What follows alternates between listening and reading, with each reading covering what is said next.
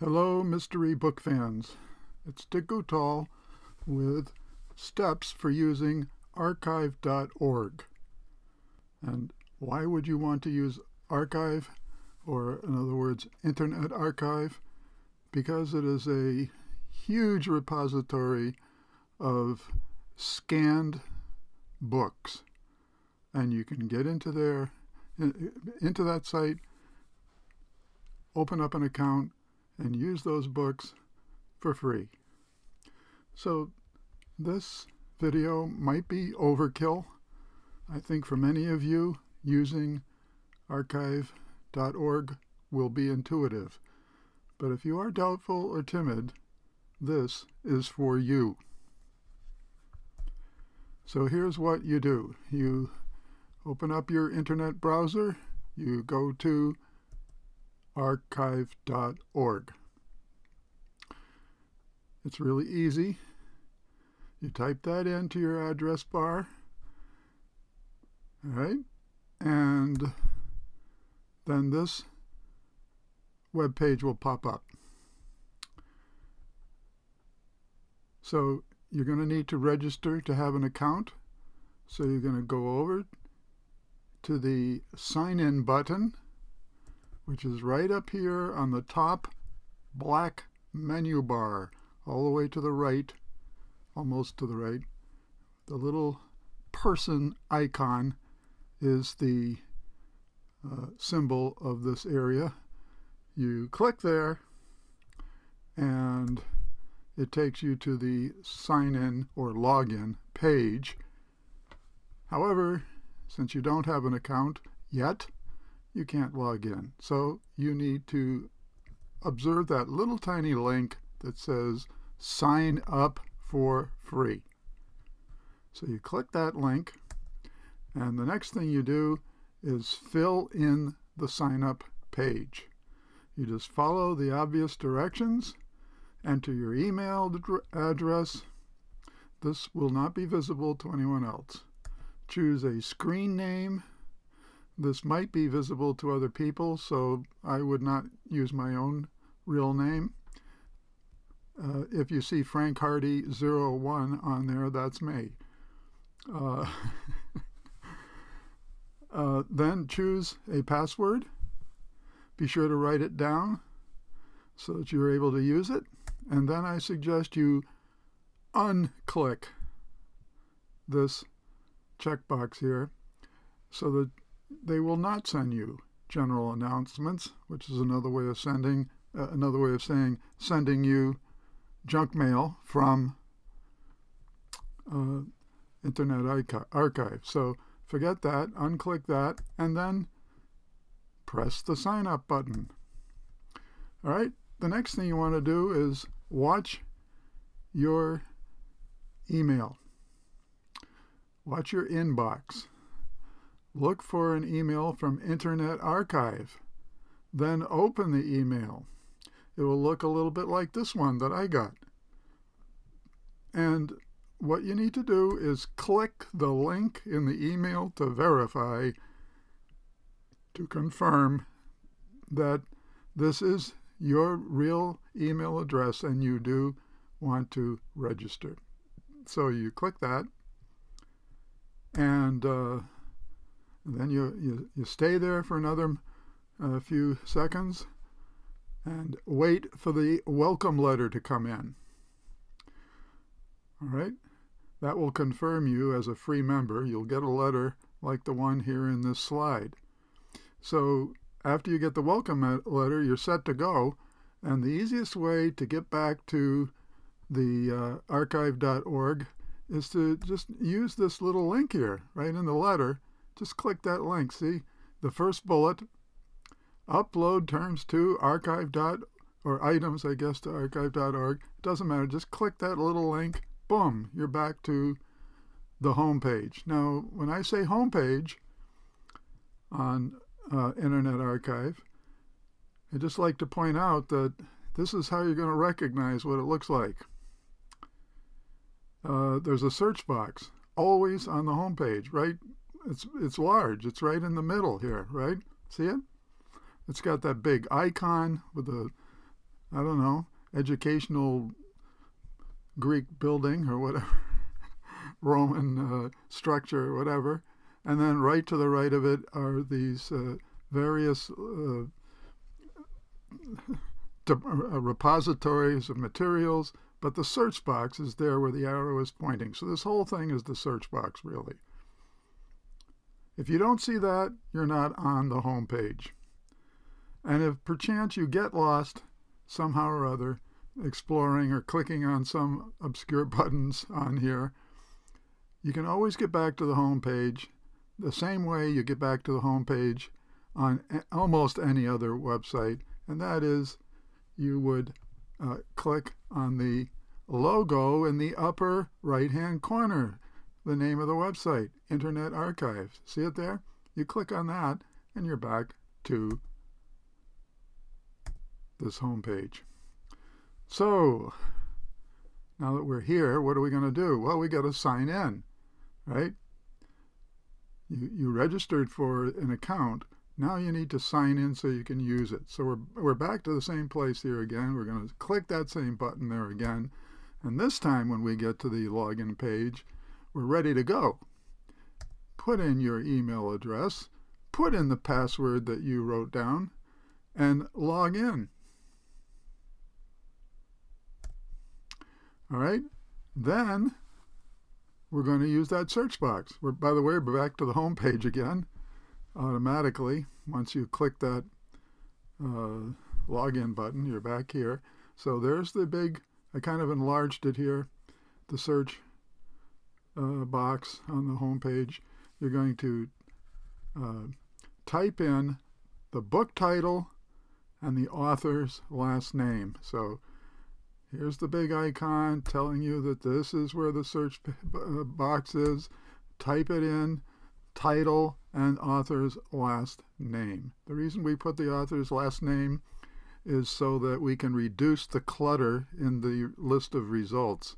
It's amazing how many other eye of the needle type of books are very closely worded the same way, and there's something like a hundred results if we don't put the author's name. Anyway, you put that in there and click go. Right? Boom, go. All right, then we come to the results page. In other words, these are all the results from the search. They come up as book covers. All right? So there's not too many. I think there's like, I don't know, 13, 14 different items, something like that. But of all of these, I mean, some of them are Reader's Digest condensed versions, and we're not going to use that, are we? Um, so there's actually six, right now anyway, six complete copies of the book that we were searching for. And they have different covers, but they're all the same book. And uh, so you, you're going to take your pick of which one you want to use. And the book you pick, uh, since there are several different ones, you, you what'll end up happening is you go in there and you take a look at it and see how nice the print quality is because you're looking for the easiest to read, the easiest on your eyes. And I haven't looked at all of them, but um, I've looked at a few, and the, of the few, the one I, I liked the best was this one down here.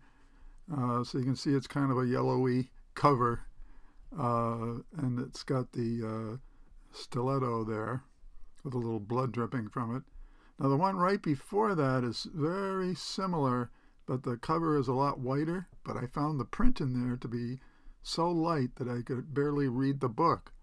So that's, you know, one of the crazy things in here. So, uh, but this one's pretty good. So you can click on that. When you click on that, it takes you uh, to the book. And you are now in what is called the online reader. And you need to familiarize yourself a little bit with the controls for the reader. And first of all would be uh, opening the book and turning the pages. So there's, you know, at least two ways to do this. One of these two little buttons down here at the bottom, by the way, the control bar is this gray bar at the very bottom. And so we have the two little buttons. One turns the page uh, forward in the book, and if you want to back up to a previous page, you use the left-hand uh, button down there. But you can also just click on the page itself. And if you click on this uh, side here, uh, the book will open. And uh, I've, I've clicked it here a few times, uh, three or four times, and I've already passed the title page, the copyright page, and the preface page. And by the way, the preface is actually important to read in this book, or valuable anyway. And anyway, I passed already a few pages, so now I'm on chapter one, the beginning. Now, I've got the whole book up there, and it's a, a little, might be a little difficult to read here in the slide, but uh, if you open it to full screen on your computer, and of course, the larger your computer screen, the better it's going to be for you. So, uh, how to make it full screen? Well, way down in the bottom on the control bar, in the far uh, right hand corner, is a little button. When you click that button, it will enlarge to fill up the whole of your computer screen. Um, so the other thing after you've done that is to possibly fiddle with the magnifier controls here, which makes the page a little bigger or a little smaller to kind of fit your screen a little, um, uh, you know, to maximize it, to get the type face as large as possible uh, without making it so inconvenient uh, that it's so big you have to keep, you know, scrolling around to go through one page. You don't really want to do that. Uh, so it's de definitely different from a Kindle. On a Kindle, you can enlarge the individual uh, words and, and letters while not changing the size of your page. Whereas here, if you want to enlarge it, you're enlarging the entire page. That means it may or may not fit as well. So it's not as nice as a Kindle, but it's free and it's available. So, um, th so that's the tips and steps uh, to get registered and to choose a book and to open the book and kind of maximize the your use or your you know appearance of the book on your screen. Uh, when you're done reading uh, and you're reading it in uh, full screen, sometimes it's a little tricky to get out of full screen because the control for that is not uh, you is not clickable. Typically, when you have full screen on your computer, you use the escape key on your keyboard. Okay, escape. It says ESC probably on the key. And that allows you to get back down to normal size. Now, the final thing that I want to mention here uh, is uh, to log out. So to log out, you go back up to that uh, spot where the uh, account is, your account, and you've got the little person icon at the top, and your username, Frank Hardy, there is showing, say mine. And when you click that, you get this little uh, drop-down menu. And the bottom item on the drop-down menu is logout. So it's as simple as that. Go up to your account, click that, then click logout, and you're done. So finally, one other thing. The next time you come back to archive.org after you sign in. All right, you signed in, so your, your account is open. Now, how do you get back to your book? What you do is, again, you click on this icon, and this time look for the item that says My Loans. You click on that, and lo and behold, it takes you to a page where your book is. All right, so that's all of it. Now, these steps are also available in a PDF, a, a four-page job aid, like what you see here in these slides. Now, if you think you would like to use that, you can download it and print the job aid if you want. Uh, it's pretty much close to what I said during this video. So in any case, please take action now. Get reading the book, Eye of the Needle, Whether you do it on Kindle, computer, a hardback book, or an Audible CD, get the book and enjoy it.